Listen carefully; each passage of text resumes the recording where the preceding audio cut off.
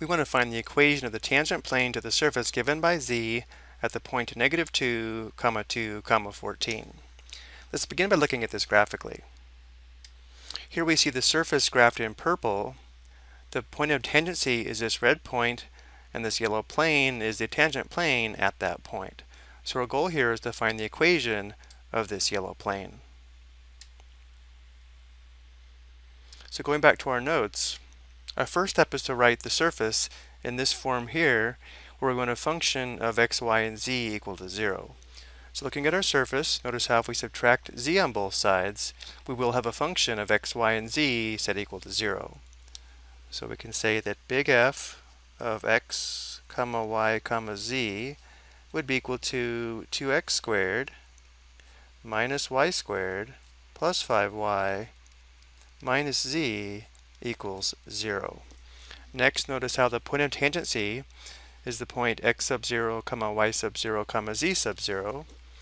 So in our case, x sub 0 equals negative 2, y sub 0 equals 2, and z sub 0 equals 14. Let's quickly review where the equation of this tangent plane comes from. We know the gradient of f evaluated at the point of tangency would be normal to the tangent plane at the point of tangency, which means it must be orthogonal to every vector v in the tangent plane, and therefore their dot product equals 0. It's this dot product that gives us the equation of the tangent plane.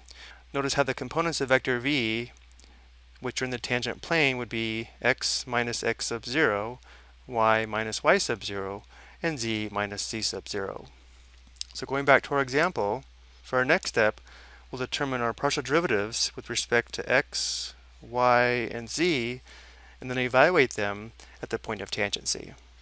So the partial with respect to x will treat the y and z terms as constants. So the derivative of 2x squared with respect to x would be 4x.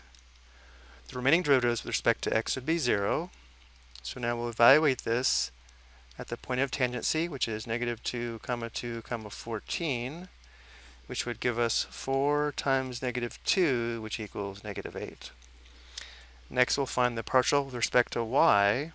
So we'll treat the x and z terms as constants. So the derivative of negative y squared would be negative 2y. The derivative of 5y with respect to y would be 5. The remaining derivatives with respect to y would be 0. So the partial with respect to y evaluated at negative 2 comma 2 comma 14 would be negative 2 times 2 plus 5 so we have negative 4 plus 5 or 1 and then the partial with respect to z we treat x and y terms as constants. So the derivative of negative z with respect to z would just be negative 1 and therefore the partial with respect to z at any point is just going to be the constant negative 1. And now we can find the equation of our tangent plane. We'll begin with the partial with respect to x evaluated at the point of tangency, which is negative 8, times the quantity x minus x sub 0.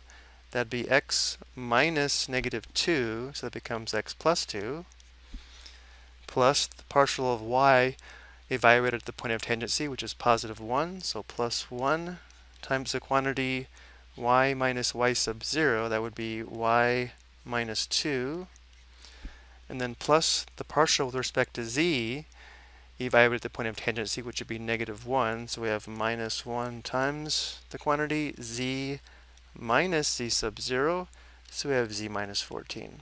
And this equals 0.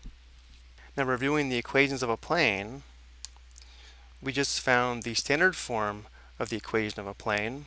If we distribute and simplify, we would have the general form of the equation of a plane. And in our homework, we're actually asked to solve this for z. So let's first put this standard form in general form, and then we'll solve for z.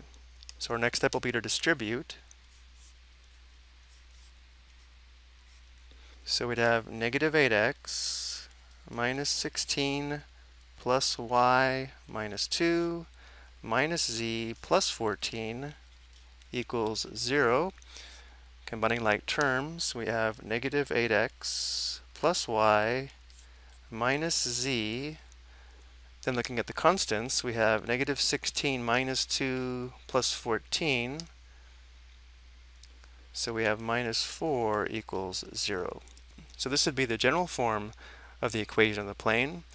But if we wanted to solve this for y, we would add z to both sides, which would give us negative 8x plus y minus 4 equals z. Or changing the order here, we'd have z equals negative 8x plus y minus 4. So again, this is the equation of the tangent plane at the given point of tangency, which is pictured here in yellow. I hope you found this helpful.